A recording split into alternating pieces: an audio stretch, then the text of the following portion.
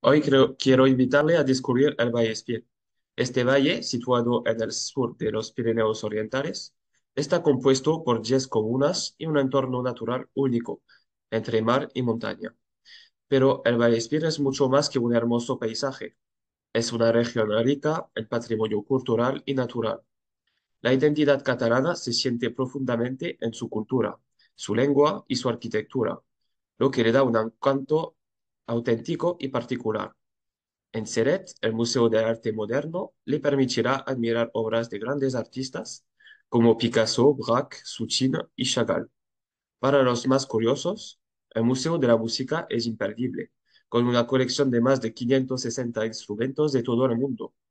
Y si prefiere los museos históricos, no deje de visitar el Museo del Corcho en Maureas, que explora la historia del corcho en la región. En Le la Casa del Boro también es una verdadera fuente de conocimientos sobre la historia de este fascinante territorio.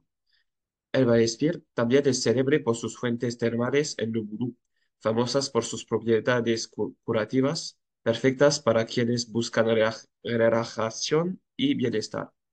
También la Casa del Agua y del Mediterráneo le permitirá descubrir el termalismo de manera lúdica y pedagógica. Para los amantes de naturaleza, el territorio le ofrece una multitud de actividades al aire libre. Hay 17 rutas de senderismo señalizadas a lo largo de todo el territorio. Una vía verde que empieza de Arles-sur-Tech hasta la costa mediterránea, además de parques con tirolinas y muchas otras actividades para disfrutar en plena naturaleza. Por supuesto, no puedo hablar del Vallespir sin mencionar Ceret, una ciudad profundamente conectada con el arte. Desde principios del siglo XX, Ceret ha sido el hogar de grandes artistas como Picasso y Braque, quienes encontraron inspiración en la luz y el ambiente de, esta, de este pueblo.